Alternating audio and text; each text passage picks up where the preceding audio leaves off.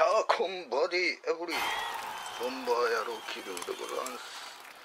今日はダイソーで買ってた。セパレートのねじ込み式のお箸。こいつの先がこれステンレスなんでなんか食べる時に金属の食感があんまり得意じゃなくって以前先っぽを流血しながら作ったんですがこの先が空洞になってるということなんでここら辺で切っちゃって木をね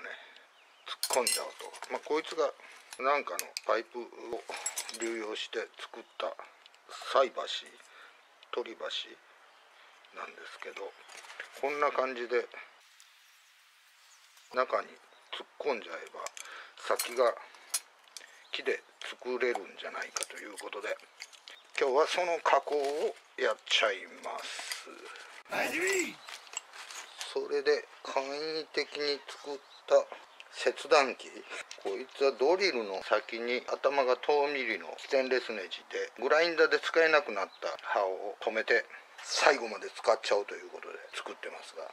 こいつで切断をしていきます。やるじゃないか。こういう電動工具を使う時は皆さん何度も言いますが革手袋それから金属粉が飛んじゃいますんで目の方をね保護メガネっていうんだっけ必ず着用するようにしてください。まあ私は特殊な訓練を積んでますんでもうそのままやっちゃいますけど。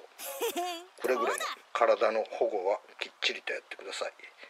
それで切る方を間違っちゃダメですよ。先っぽの方ね。見てみると5ミリぐらいかなこれ中にねじ切ってますんで木が入る部分っていうのがこの辺からになっちゃうんでちょっと長めに切ってですね削って左右の長さを調整しようと考えてます。では始めい。こ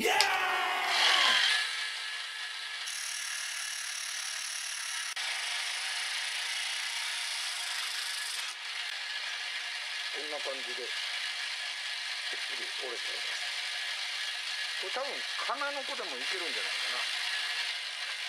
長さを合わせるついでに切り口を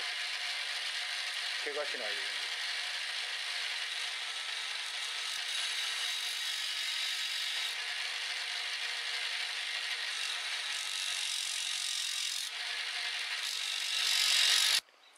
あらかた長さが揃いましたんでこれ中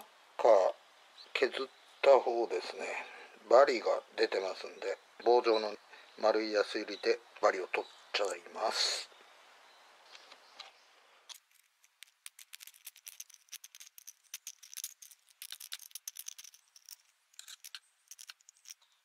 こんな感じで取っちゃいます。それでこれがよくお弁当なんかについてくるお箸なんですがこいつ洗って取ってましたんで適当な長さに切ってこれに突っ込もうと。あスカスカなんでここんなの聞いてないよ。少し削ったやつも中に一緒にはめ込んでいく感じになるかな。覚えてるよ。細いのがほんの少しなんで細いやつを入れて奥まで。